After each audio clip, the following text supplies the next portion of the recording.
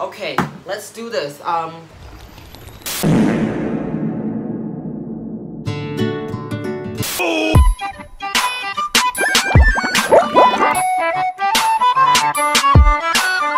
It's currently 11 sep 11:18. Um, yeah, I know I woke up around 8 something past 8 and yes, this is how slow of a person I am, okay? I'm just kind of like a take my time kind of person, you know? I don't want to rush things because I don't really like being rushed because I have this like mindset wherein if everything is rushed, then you cannot produce quality output you know? It can be efficient in a way but i'm we may lose that quality output you feel me? So okay what was my experience with listening to our podcast like in general? Um i feel like as i am growing older i start to mature here and there. I start to realize things here and there. I start to evolve. So i think I can be in the zone of listening to a podcast in general. Now, what podcast do I have in mind? Well, I currently I only have my eyes on Emma Chamberlain's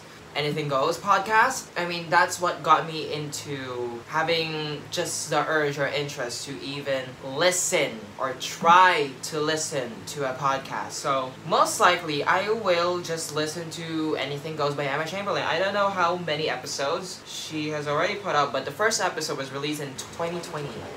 Anyways, alright, I really enjoyed the first episode. I didn't put in that much clips because I just wanted to still feel the moment, you know, because when I try to record, it's it feels like I need to like document something and then I need to kind of like make a segment, you know? So there's this thinking of you need to kind of like work. It's not essentially work, but it's just like you're starting to have a shift in focus, you know? And that kind of takes out the enjoyment of listening to a podcast. That's why I didn't really record as much because I just want to run it down in the background and just listen to the podcast. Now, I really like the topic on just like because the title of her of her pilot episode is minding your own business and she segue it with a topic on gossips and dramas which I feel like this cannot be a total coincidence because recently in my life I'm kind of like I can relate to that. I can relate to the first episode with all of her experience with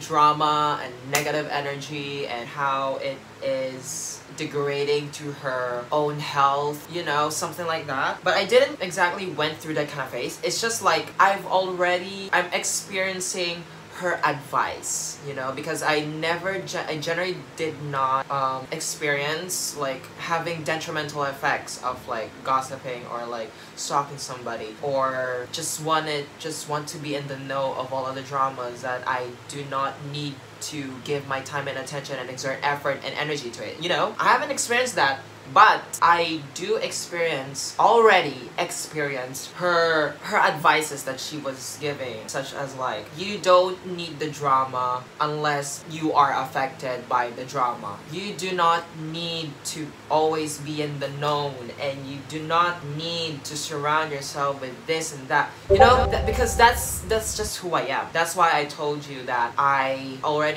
experienced her advices because that's who I am. I choose to not surround myself with drama. I choose to maintain my peace and my sanity. And I feel like that's what I've been doing for the past year.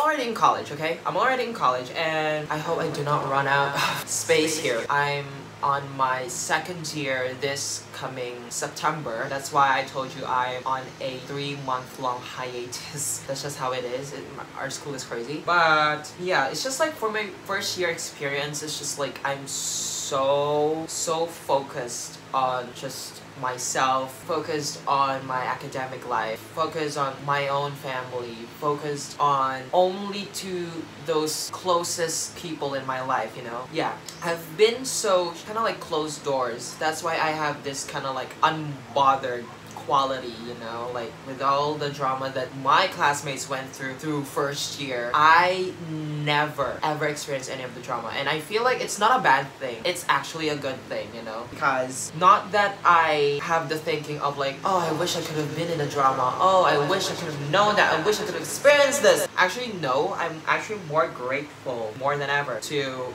just stay at peace, keep my sanity, do the things that I love, and just focus on the things that I prioritize in my life. So it's a really wonderful decision that I made. And it did build my character, it did build my persona, it did build who I am even more, furthermore, in a good way. And that is something I will never ever regret. That is one of the best decisions that I made in my life. But I feel like the only caveat on that and like the cons and like the I'd say the thing that I missed out on on that decision is that I missed out on a whole year of social interaction. I missed out a whole year of not knowing my classmates because I've come to a point just recently wherein I've absolutely spent time with them. So I got a glimpse of that and I was like, oh my god, I missed out a whole year of this? But still, there's still no regret in my heart. It's just like a realization that I realized.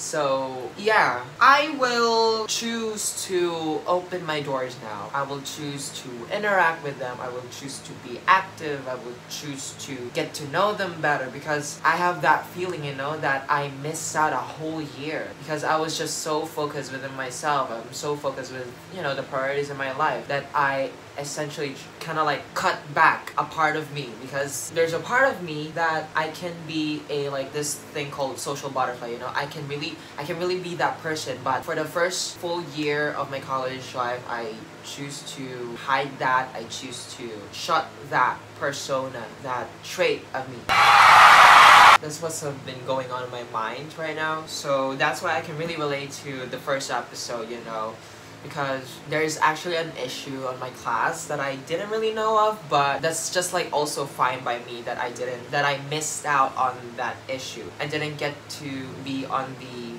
drama side of the things. I didn't it didn't really make my life so complicated. It my life wasn't a pain in the ass and I'm just so grateful that I maintained the peace. As what Emma Chamberlain said you don't have to surround yourself with very dramatic and toxic people with all of the negative energy.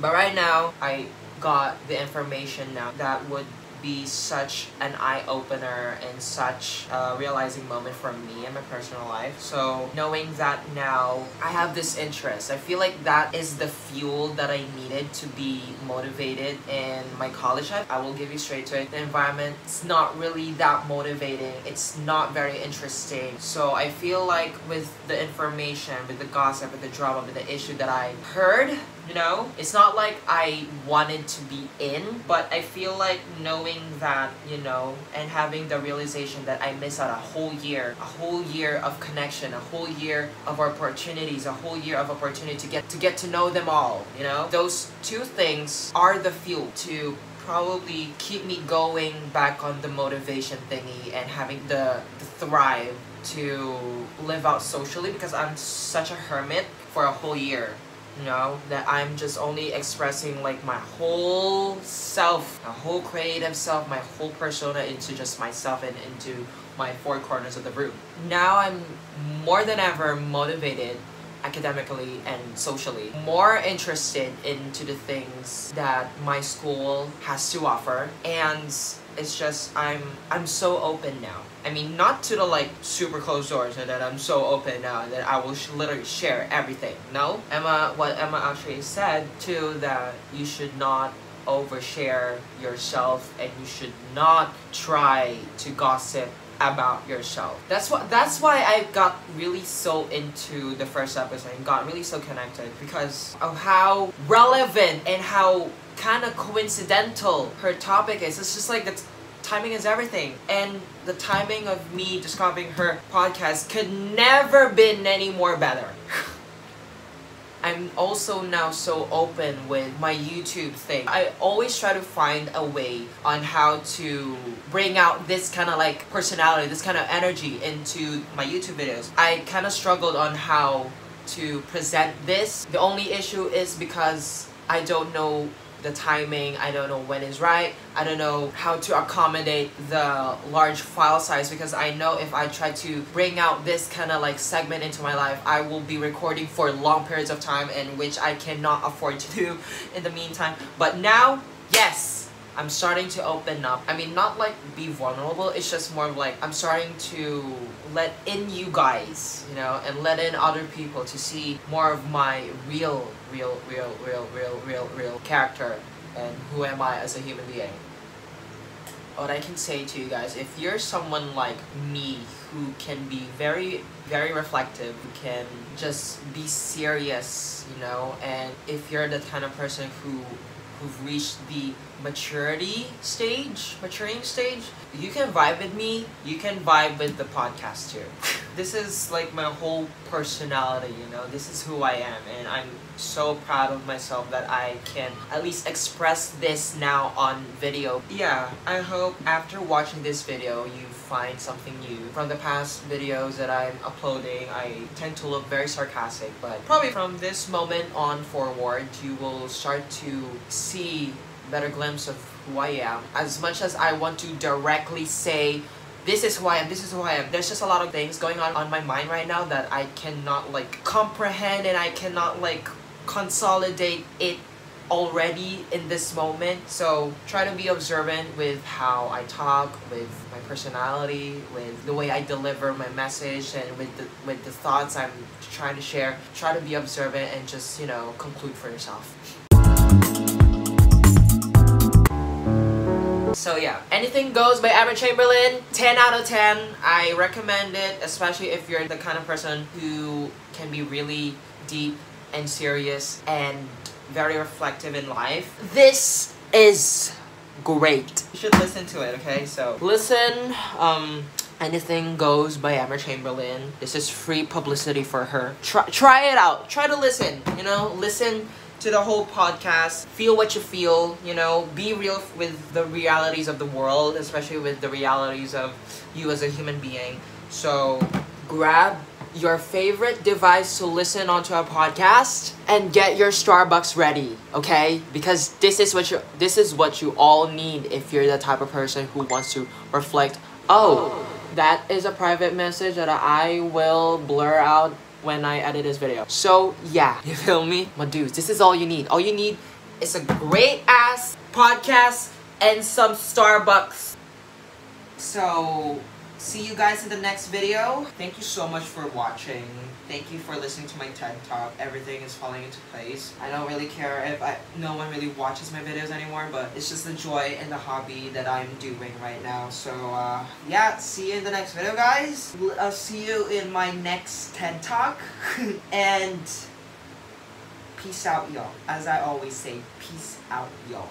the Starbucks is all you need. Starbucks is all you need, my dudes.